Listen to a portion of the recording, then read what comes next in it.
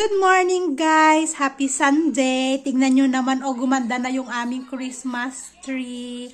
May pa-ribbon na siya. May tatlong ribbon. O, oh, di ba? And nadagdagan na yung mga balls. And meron siyang gold na pa-Christmas tree din. Ayan. Yan yung kinabit namin ni Asher kahapon. Kahit papano, gumanda-ganda na ng konti. Kasi nga, nadagdagan na ng kanyang dekorasyon. Ang ganda ng mga gold, ang ganda ng gold na balls, oh. 'Di ba? so ayan guys, kape tayo. Ano? Nagtoast ako ng tinapay. Pakakainin ko sana si Asher bago pumasok kasi exam niya ngayon, pero wala siya sa mood sa, ti, sa kanin sa umaga. Kaya as usual, toast bread and mayo ang kanyang agahan. Kain tayo! Hi guys! So ayan, kaalis lang ni Asher. Kasusundo, bali, ano siya ngayon? Math exam. Ayan. So, bago ako maglinis, babalutin ko muna kung ipapang regalo ni Asher. Tingnan niya. Ang sabi ko kay Asis, bumili siya ng, alam niyo yung mga insects, plastic na mga insects, yung one pack may spider, may tarantula, may grasshopper, may praying mantis, may bag, ganun. Ganun yung sinasabi ko kay Asis na bilhin niya. Kasi nga birthday ni Anika at in-invite si Asher na pumunta. Mamaya, pagkagaling sa school. Ngayon, dumating kahapon, sabi ko na saan ang pinapabili ko. Wala, hindi daw siya bumili.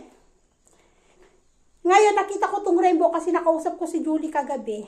Sabi niya gusto ng bata, rainbow-rainbow daw. Ayan. Eksakto.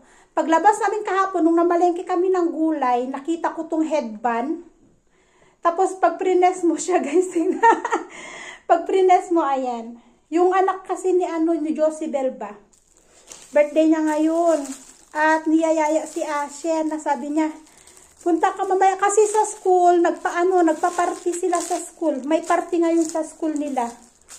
Sa, ano yung school nila? Montessori din kasi eh. Kaya busy-busy si Julie at saka si Josibel. Silang dalawa magpapagames daw sila sa mga kaklase ni Anika. Kaya sabi niya, ate dalhin mo si Asher mamaya pagkagaling niya sa school, sabi. Kaya yan. Kaya bumili kami ng pangregalo ni Asher. Ang cute ba? Oh? Pangbata ba? Oh.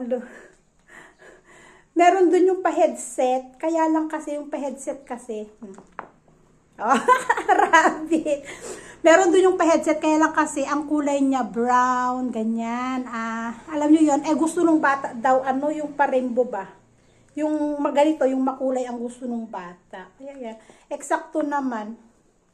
Ang cute lang, rabbit. I-press mo lang yung nandito. so, balutin natin to. Para mamaya, pagpunta, ganyan na lang.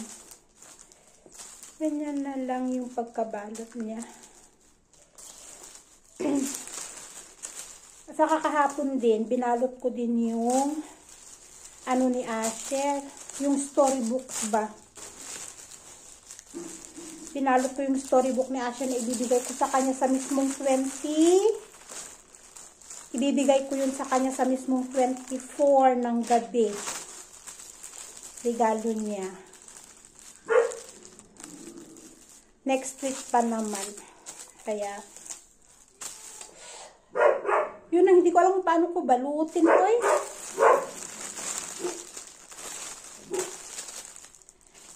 Pwedeng pa ganyan. Yun, ganito. Yan.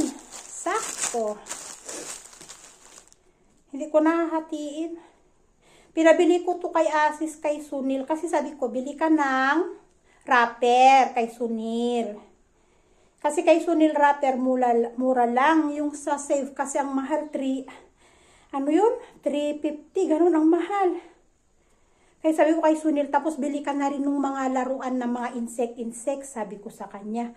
Abay, dumating kahapon, wrapper lang ang dinala. Walang gift. Kaya nung lumabas kami, ayan, sakto naman. Pero nasa na ba kasi yung ano nito? Bali, babalutin ko muna to, tapos maliligo muna ako. Saka ako maglilinis. Kasi minsan sa umaga ako naliligo, minsan sa gabi. Sa gabi nagagalit si Asis. Naliligo ako sa gabi, tapos nagpapahilot ako ng efficacent. Nagagalit yung isa. minsan naman sa tanghali, ang ligo ko. Hay nako. Balikan ko kayo guys at ang ating tape ay ayaw man makisama oy.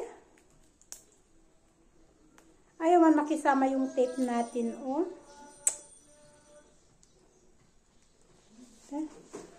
See you later guys! So ayan guys, nandito na kami sa Tari at papunta na kami sa bahay nila. Uh, Josie Bell, eksakto 4 o'clock Maaga inihatid si Asher kaso si Asis may inihatid na pasahero sa Naranggat kaya inantay pa namin. And tamang-tama naman nakapag-review pa kami ni Asher sa exam niya bukas bago kami pupunta kina Josie Bell. So, ayan, so nandito na tayo. Bali yung sa kanila palooban, parang sa amin, pagdating dito sa Bacular Chok, uh, papasok sa kanila. So, Ayun. Pero malapit na tayo. Kasi from from highway papunta sa kanila, malapit malapit-lapit, malapit-lapit na lang din naman. So, nandito na tayo sa, ayan, ayan, Bakular Chok na to guys. So, papasok tayo dito. And, ang bahay nila, Julie, ay malapit dito sa highway. Ayan. Si Julie na andun na. Nagluto sila ng pagkain daw kanina. So, nandun na si Julie nagaantay na nga din. So, dito, sa place nila, si Julie malapit siya dito sa may bilihan ng mga gulay, prutas, ganyan. So, mas malapit naman siya. Parang yung distance namin ni Rose. Yung distance namin ni Rose at saka distance ni Julie at Josebel, parang pareho. So, eto yung school, public school, dito na malapit sa bahay nila, Josebel. Ayan, no? tamang-tama, si uwian na rin ng mga bata dito. Di ko alam kung itong school na to ay high school or elementary, pero malaki kasi siya. At saka meron silang ground, meron silang malaking uh, playground dito sa may likod ng school. Kung saan yung mga bata dyan naglalaro ng mga football. Ayun oh, ang laki ng ground nila. Parang yung public school sa amin, sa may Kairahani, ayan.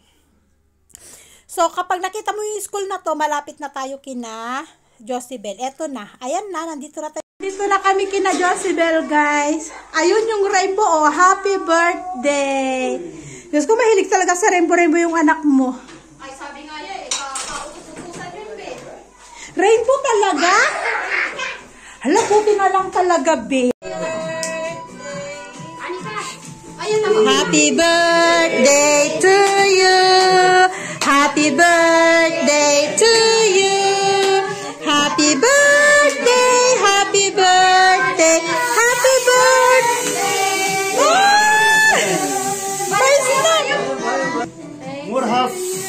What you will do? Ilan na? Oh, there's a snow, there's a snow. Wow, there's a snow. Oh, there's a snow. Oh, tapos, ano gagawin? Ay, mag ano na, blow, blow, blow the candle na. Blow the candle, blow the candle. Oh, make a wish, make a wish. Long life and happy. Happy birthday. Oh, one more, one more. One more. One.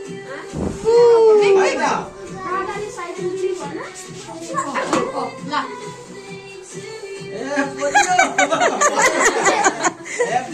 Happy birthday! Hi guys, so ayan, nakauwi na kami dito sa bahay at yun, nakainom na ako ng mainit na tubig kasi nga malamig at syempre, nakapag-sharon ako.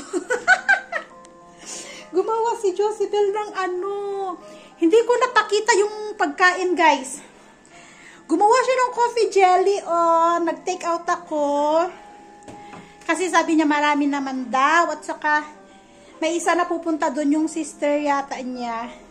Isa lang naman. And nakapag nakapag din ako ng sopas. Tamang-tama meron kaming agahan bukas. Iinit ko na lang yan at saka magdadagdag ako ng ano gatas. So, may agahan kami ni Asher bukas. And yun, sabi sa akin ng asawa ko, kumain ka na nga doon, nag-take out ka pa.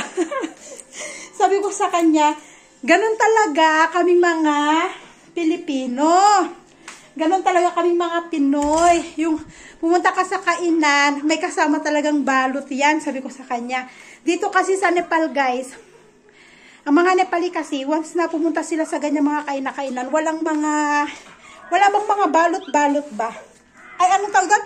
Walang take-out, take-out. Eh, sa ating mga Pilipino, uso yan. Kahit saan ka pumuntang kainan, lalo kapag may sobrang pagkain, may sobrang pagkain or may mga tira ba, talagang meron talaga tayong pa, pabalot ba? Sabi ko, masanay ka na sa aming mga Pilipino na ganyan talaga. Pag pumunta sa kainan, eh, may mga pa take out, take out talaga. So, ayan. Imbis na magpapahinga na sana din yung isa, tumawag yung, may tumawag siyang ah, pasahero, nagpapadeliver ulit ng kamatis papuntang Parsa. 14 na ano daw. Anong tawag nila dun? Train na ganon. So, sabi niya kay sa bukas ng umaga nga naman, 5.30, maaga kasi yun, eh malamig pa ganung oras. Sabi niya, ngayon ako magdi-deliver, sabi naman nung may anong kamatis, oo daw, kaya umalis siya. Nag-deliver. So, ayun, kami lang ni Asher ulit dito sa bahay and yon since tapos na rin naman kami nag-review kanina, nakapag-review na kami kanina ng kayang i-exam bukas. So, pahinga-pahinga lang, then maya-maya, patutulog na kami. So, hanggang doon na lang din yung ating video for today, guys. Thank you, thank you for watching and see you in our next video. Bye, everyone, and God bless us all. Good night, everyone!